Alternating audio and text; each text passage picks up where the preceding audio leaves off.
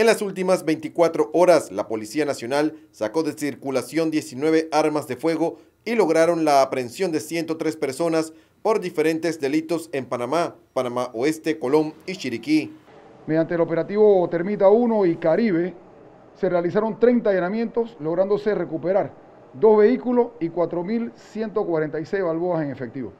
Sí, las armas fueron recuperadas en San Miguelito, Colón, Chame, Coclé, Arraiján, Chiriquí Alcalde Díaz. Igualmente podemos mencionar también el decomiso de 19 kilos de marihuana en un vehículo taxi.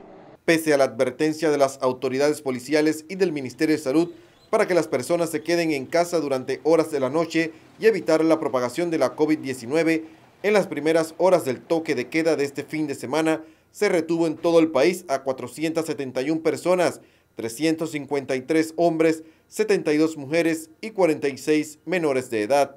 Eh, muchas de estas personas que definitivamente eh, caminan por la calle o están en vehículos, hemos visto que uno van a comprar licor, otros sí hemos visto que tienen algún tipo de salvoconducto, pero son llevadas a las estaciones policiales para verificar estos dos sistemas de, verificación, que es el PACO y el sistema del Ministerio de Comercio e Industrias en muchos de los casos. Y otros eh, en la noche, pues que transita mucho el personal que va hacia sus labores. Según el comisionado Raimundo Barroso, las provincias de Panamá, Panamá Oeste y Colón reportan el mayor índice de personas retenidas. Asimismo, se devolvieron varios vehículos en los cercos sanitarios.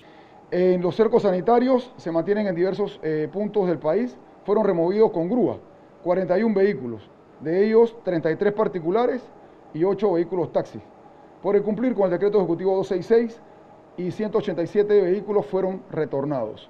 Desde el 24 de julio, Panamá, Panamá Oeste, Colón, Bocas del Toro y Chiriquí mantienen toque de queda desde las 7 de la noche del viernes hasta las 5 de la mañana del lunes ante los altos índices de contagio del nuevo coronavirus. Manuel Batista, Telemetro Reporta.